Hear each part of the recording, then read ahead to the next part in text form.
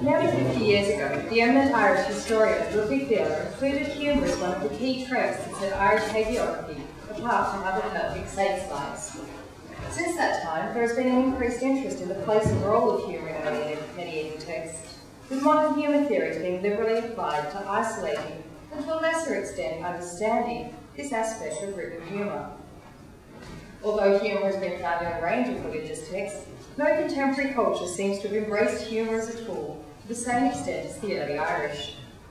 In almost every extant early Irish saints' life, Latin or vernacular, humour is used in some form to enhance the saint's position or their function and to bring definition to who and what they were. Without going into too many of the dull technicalities of how different humour theories work, I'd like here to move beyond recognising the existence of this humour, proposing some possible purposes. Aspects, there is little separation between the written portrayal of male and female Irish saints in the early medieval period. Both were portrayed as being part of an ideal genderless third gender that would publicly wield power and authority in defiance of other cultural norms. But this ideal was under pressure from a range of social, political, and religious factors, and as such was not always maintained in a consistent fashion. Humour is one of the rare areas where this ideal third gender sometimes broke down. And instead, there is at times a clear divergence between the way that Irish hagiographers depicted male and female saints. This paper will look at two different types of humour that express this divergence in different ways.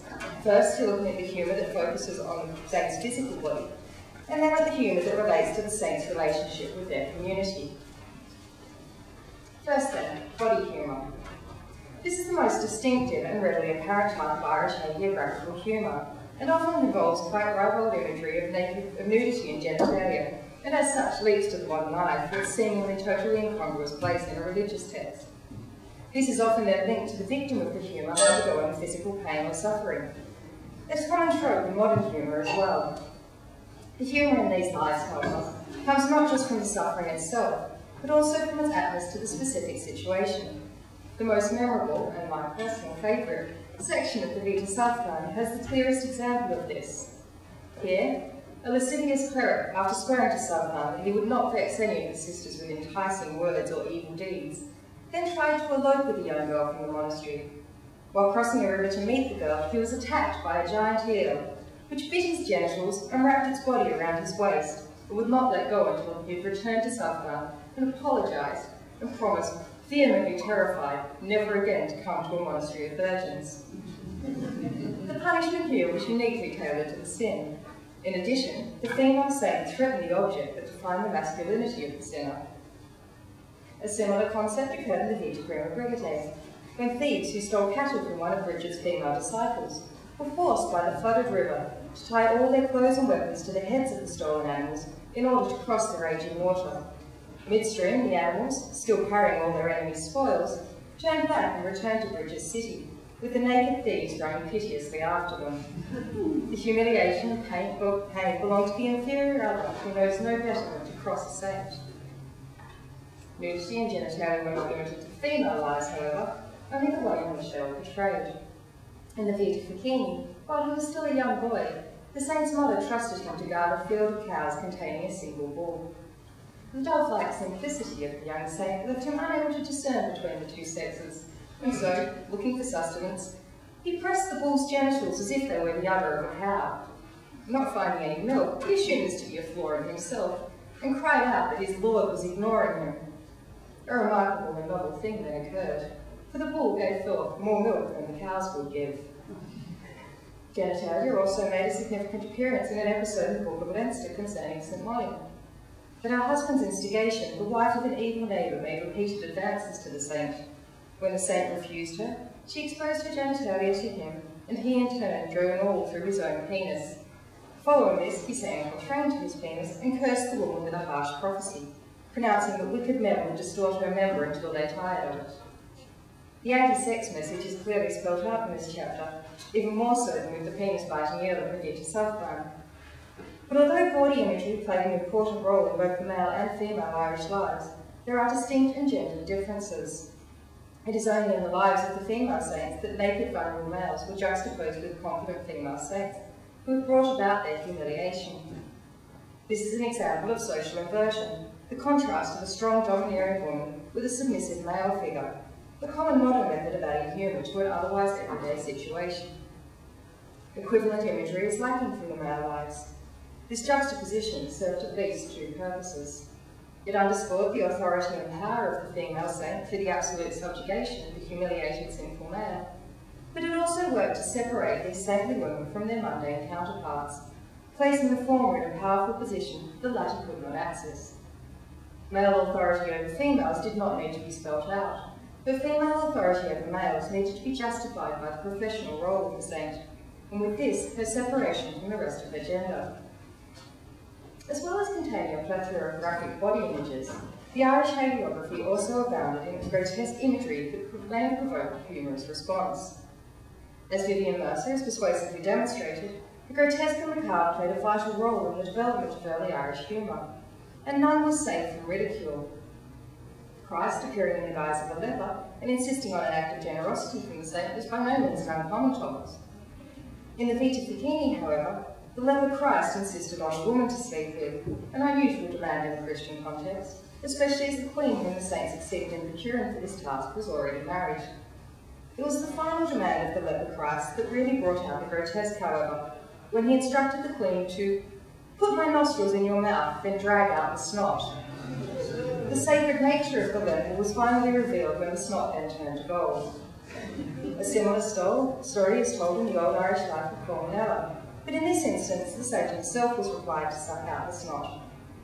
Snot also turned to gold in the Vita. St. William, who had been cursed with leprosy as a punishment for his excessive pride, came to St. Mochua to be cured. While waiting for Mochua to return, Mooney sat on the floor of his house, bald and leprous and horrible with ulcerous wounds, and swept back into his body the worms that had crawled away. In order to cure the leprosy, Mochua licked the rotten body of Muni from the top of his head, eventually drawing forth three bits of snot from the nose of the sacred face. This snot later changed to gold talons. Sexual humour appears to have had a gendered aspect in Irish hagiography, but although this was less apparent with the non-sexual grotesque humour, there are still distinct differences. Male Irish saints were more likely to be depicted in a grotesque manner than were female Irish saints. This may again have been due to the difficulties of portraying the third gender in a society used to only two.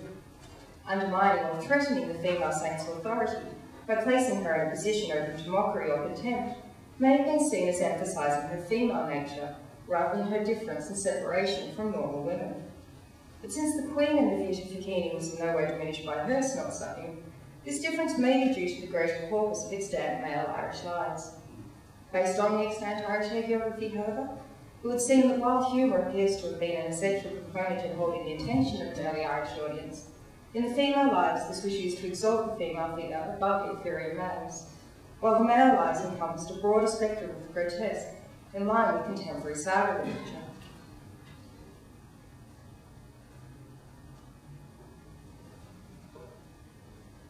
The second type of humour, where male and female saints were portrayed in different ways, again seems to relate to the difficulties Irish hagiographers had with separating the female from the saint when describing the attributes of the female saints. One of the oddities of Irish saints' lives were miracles that either showed the saint in a poor light or portrayed other characters disrespecting or disbelieving the powers of the saint without negative repercussions. Alfred Radcliffe Brown and other social anthropologists, sorry, these incidents may have performed a very specific function in light of the close and personal relationship between Irish saints and their communities. Alfred Radcliffe Brown and other social anthropologists have looked at humour as a medium of social relationships in modern society and have determined that a common aspect is the joking relationship. These social interactions, which allow one party to insult or tease the other without no offence being taken, function to provide harmony, where there is both attachment and separation, or social conjunction and social disjunction. In the case of saints, these relationships can be seen as a result of the nature of Irish sanctity. Irish saints were born, not made, so there was no question of aspiring to become a saint. Late conversions after a life of sin were extraordinarily rare compared to their appearance on the continent. Instead, Irish saints nearly always showed clear signs of their special nature early in life, often from infancy. Thus, the saint was, by definition, other, and outside the normal patterns and basic survival goals of everyday society, leading to social disjunction. Against this, however, was the idealised value of sanctity. Even if individuals could not aspire to become saints themselves, they could still follow the saint's tenets and aim to, aim to lead a good religious life. This meant that while the extremities of a saint's life, such as the miracles, curses, asceticism, and dynamic speech, might remain other and outside, and so cause social disjunction, the basic premise of following Christ's example as an ideal allowed for social conjunction. The authors of the hagiographies were able to balance and resolve this conflict through the use of joking relationships, where, as in the lives of both Eater and Suffer, a foolish fag could get away with referring to the saint as that old woman, as well as questioning her value and importance in relation to himself. Not only did the saints take no offence, but the seemingly insulting comments served to strengthen and make more intimate and personal the relationship between them and their young supplicants. Likewise, in Monena's Live Conchubranus, an uncouth swineherd rudely and unfairly blamed the saint for the loss of his pigs, only to be recompensed and brought more closely into the fold through the saint's sympathy and understanding.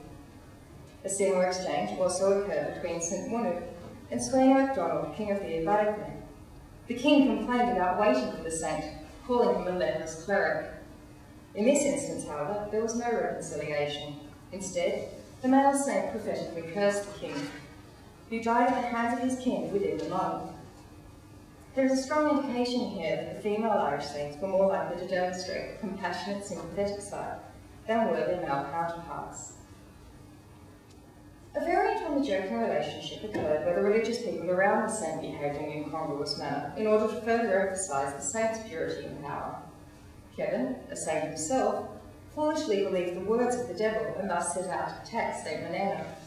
The demonstrably more saintly and powerful Monena recognised the devil and so was able to save the lesser and more gullible saint.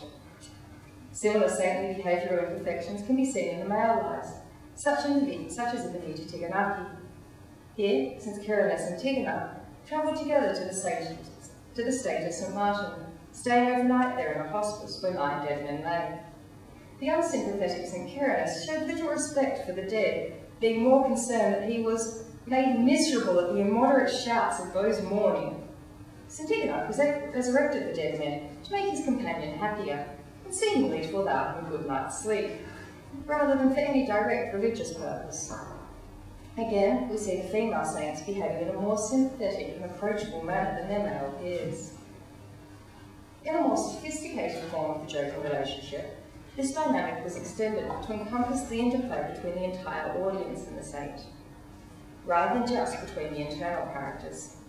Here, the unobtainable perfection of the saint's life was shown in contrast to normal everyday human survival, clearly exposing how the saint's advanced religious ideas would conflict with basic well-being for lesser creatures.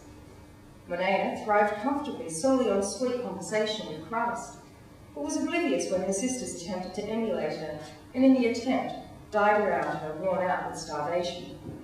Eventually, external advice brought the saint back in touch with the terrestrial world, and she realised that her companions physically could not maintain the same standards as she did. By definition, saints were other and distant, and while it was possible to follow their example, for normal people, this needed to be in moderation. Bridget also acted in a manner unsustainable for a normal person, compulsively giving away everything she touched to the poor. This generosity threatened to beggar her family to the point where her father contemplated selling her. This trait of Bridget remained with her throughout her life. As an adult, she gave away the distinguished Richard Converts for investments to the poor. Fortunately, the special nature of the saint prevented this from being a problem, and Christ provided perfect replicas for the bishop. For a saint, survival was possible with no possessions, food, or worldly goods. But the rest of humanity, lower standards and greater requirements were necessary in order to survive and maintain social stability. There was a sense of relief that even those nearest to the saint, physically and through kin ties, were unable even to begin to live up to their impossibly high standards of behaviour. This type of humour was also common in the male Irish lives, and was what provoked Bieler to comment on the humour in these lives so many years ago. St. Kevin, for example, stubbornly refused to follow the instructions of an angel who came to warn him that the stone above his head was about to fall, insisting instead on staying in his place of Lenten retreat, an action that forced the angel to support the stone until Lent was over.